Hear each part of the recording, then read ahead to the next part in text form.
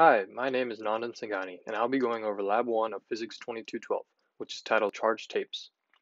For some background info on the topic, the interaction between ordinary objects can create an excess or deficiency in electrons, resulting in a net positive or negative charge. This interaction can include rubbing, pulling apart, or even touching.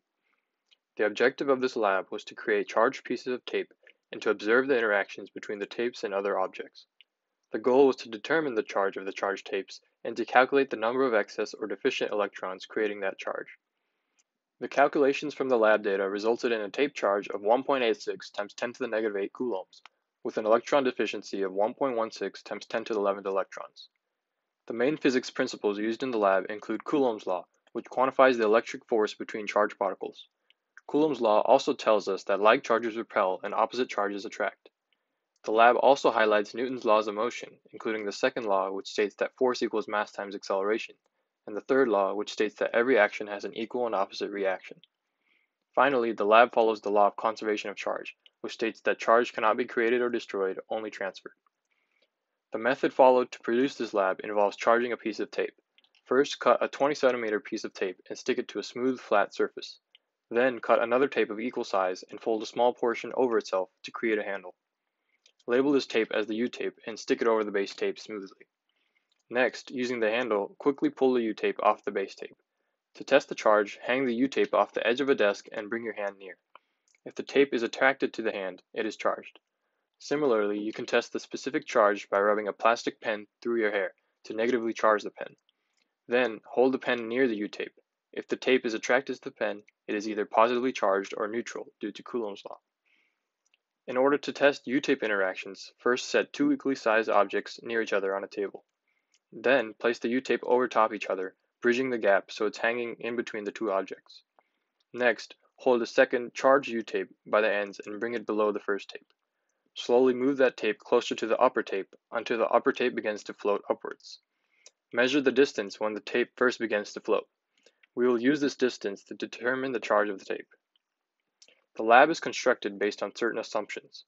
We are treating the charges along the piece of tape as a single point charge, positioned in the center of the tape. We are also assuming each charged piece of tape we created has the same net charge, evenly distributed along the tape. We are then assuming the air resistance is a negligible force on the tapes, and that rubbing a pen in the hair causes it to become negatively charged. During the lab, some observations were made about the interactions between the tapes. The two main forces that were acting on the upper charge tape in the y direction include the electric force from the lower charge tape pointing upward, as well as the gravitational force pulling the tape downward. Since the momentum of the upper tape was not changing during the experiment, it can be assumed that these two forces were equal due to Newton's second law. The measurements of the tape include the length, width, and mass, which are all shown on the slide. The measured distance between the floating charge tapes was 0.04 of meters.